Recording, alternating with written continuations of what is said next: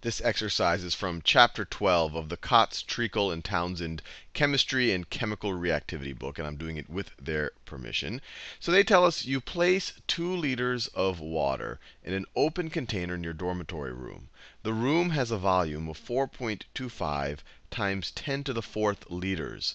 You seal the room and wait for the water to evaporate. Will all of the water evaporate at 25 degrees Celsius? And then they tell us at 25 degrees Celsius, the density of water is 0.997 grams per milliliter, and its vapor pressure its vapor pressure is 23.8 millimeters of mercury. And this is actually the key clue to tell you how to solve this problem. And just as a bit of review, let's just think about what vapor pressure is.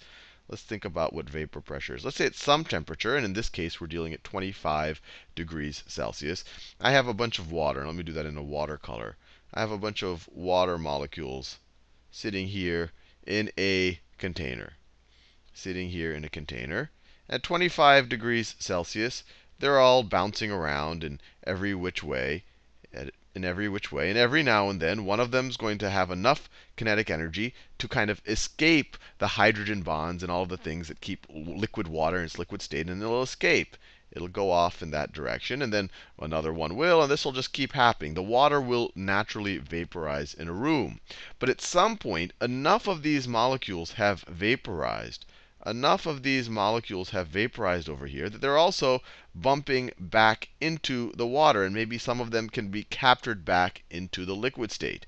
Now, the point, the, the pressure at which this happens is the vapor pressure. As you can imagine, as more and more of these, as more and more of these water molecules vaporize and go into the gaseous state, more and more will also create pressure, downward pressure. More and more will also be colliding with the surface of the water. And the pressure at which the liquid and the vapor states are in equilibrium is the vapor pressure. And they're telling us right now it is 23.8 millimeters of mercury. Now, what we need to do figure out, to figure out this problem is say, okay, how many, if we could figure out how many molecules need to evaporate, how many molecules of water need to evaporate to give us this vapor pressure, we can then use the density of water to figure out how many liters of water that is. So how do we figure out how many, how many molecules? Let me write this down. How many, how, how many molecules, how many molecules of water need to evaporate. To evaporate, to give us the vapor pressure. To give us the vapor pressure, to give us the vapor pressure of 23.8 millimeters of mercury. So what I guess, law or formula. And I don't never like to just memorize formulas, but we've given this formula in the past, and it's probably one of the top most useful formulas in chemistry, or really uh, all of science. What formula or law deals with pressure? They give us they give us the volume of the room, because that's where the pressure will be inside of. So we have pressure, the equilibrium vapor pressure. We have a volume of a room right over here. We know the temperature of the room right over there.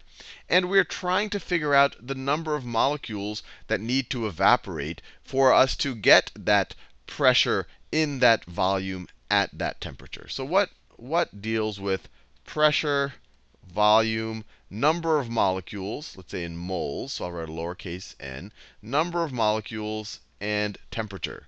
Well, we've seen this many, many times. It's the ideal gas law. Pressure times volume is equal to the number of moles of our ideal gas. In this case, we're going to we're going to use water as our ideal gas or vapor as our ideal gas times times the universal gas constant times temperature. And this should never seem like some bizarre formula to you because it really, really makes sense.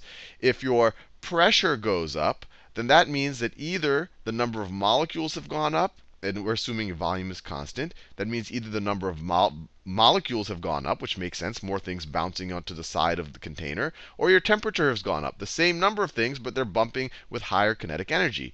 Or if your, if your pressure stays the same and your volume goes up, then that also means that your number of molecules went up or your temperature went up because you now have a bigger container. In order to exert the same pressure, you need more, either more molecules or more kinetic energy for the molecules you have. And you could keep playing around with this, but I just want to make it clear this isn't some mysterious formula. The first time I was exposed to this, I kind of did view it as some type of mysterious formula. But it's just relating pressure, volume, number of molecules, and temperature. And then this is just the ideal gas, or sorry, the universal gas constant. So let's just get everything into the right units here. And then what we're trying to solve for, we want to figure out the number of molecules of water. So we want to solve, we want to solve for n. And if we know the number of moles of water, we can figure out the number of grams of water. And then given the density of water, we can figure out the number of milliliters of water we are dealing with. So let's just rewrite the ideal gas law by dividing both sides by the universal gas constant and temperature so that you get n is equal to pressure times volume over the universal gas constant times temperature. Now, the hardest thing about this is just making sure you have your units right and you're using the right ideal gas constant for the right units, and we'll do that right here. So what I want to do, because the ideal the ideal gas, the universal gas constant I have is in terms of atmospheres. We need to figure out this vapor pressure, this equilibrium pressure between vapor and liquid. We need to write this down in terms of atmospheres. So let me write this down. So the vapor pressure, the vapor pressure, the vapor pressure is equal to 23.8 millimeters millimeters of mercury. And you could look it up in a table if you don't have this, if you just don't have this in your brain. One atmosphere, one atmosphere is equivalent to 760, 760 millimeters of mercury. So if we wanted to write the vapor pressure as atmospheres, let me get my calculator out. Get the calculator out, put it right over there. So it's going to be 23.8, 23.8 8 times 1 over 760, or just divided by 760. And we have three significant digits. So it looks like 0.0313. So this is equal to 0.0313 atmospheres. That is our vapor pressure. So let's just deal with this right here. So the number of molecules of water that, that are going to be in the air, in the gaseous state, in the vapor state, is going to be equal to our vapor pressure. That's our equilibrium pressure. Above, if more, if more water molecules evaporate after that point, then we're going to have a higher pressure, which will actually make them favor more of them going into the liquid state. So we'll go kind of past the equilibrium, which is not likely. Or um, another way to think about it, more water molecules are not going to evaporate at a faster rate than they're going to condense beyond that pressure. Anyway, the pressure here is 0.0313 atmospheres. The volume here, they told us right over here, is 4. So that's the volume, 4.25. 4.25 times 10 to the fourth times 10 to the fourth liters. And then we want to divide that by, and you want to make sure that your universal gas constant has the right units. I just looked mine up on Wikipedia. 0.08.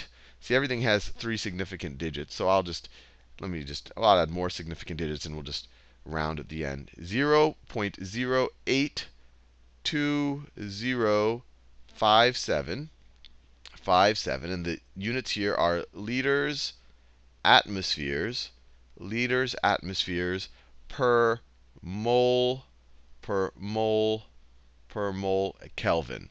And this makes sense. This liter will cancel out with that liter. That atmospheres cancel out with that atmospheres. I'm about to multiply it by temperature right here in Kelvin. We'll cancel out there. And then we'll have a 1 over moles in the denominator. A 1 over moles in the denominator will just be a moles, because you're going to invert it again. So that gives us our answer in moles.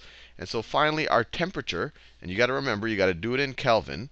So 25 degrees Celsius, let me write it over here, 25 degrees Celsius is equal to, you just add 273 to it. So this is equal to 200 and 298, 298 Kelvin. So times 298 Kelvin. And now we just have to calculate this. So let's do that. So we have, so let me clear this out. So we have, use my, my keyboard. So 0.0313 atmospheres times 4, 4.25, 4.25 times 10 to the fourth. That's just, that e just means times 10 to the fourth. That's just a, the way that it works on this calculator. And then divided by 0.082057 divided by, so I could, actually, let me make it, just to make it clear, let me show you that I'm dividing by this whole thing. So let me insert, let me insert some parentheses right here. Some parentheses. And so in the denominator, we also are multiplying by 298. And let me close the parentheses. Let me close the parentheses. And then we get 54.4. We only have three significant digits. So this is equal to, this is equal to 54.4 moles. And we can see this liters cancels out with that liters. Kelvin cancels out with Kelvin. Atmospheres with atmospheres. You have a 1 over mole in the denominator. So then you're just, that's going to, 1 over 1 over moles is just going to be moles. Now, this is going to be 54.4 moles of of water vapor in the room to ha uh, have our vapor pressure. If our if more uh, evaporates, then more will condense. We will be beyond our equilibrium. So we won't ever have more than this amount evaporate in that room. So let's figure out how much liquid water that actually is. So 54, let me do it over here. So 54, 54.4 moles, let me write it down, moles of H2O, that's going to be in its vapor form, is going to evaporate. But let's figure out how many grams that is. So what is the what is the molar mass of water?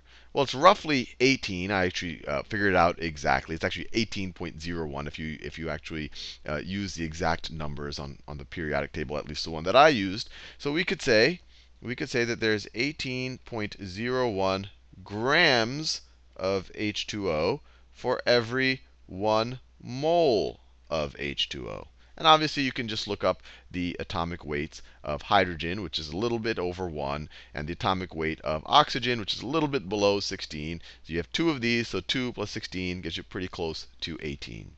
So this, this right here will tell you the grams of water that can evaporate to get us to that equilibrium pressure.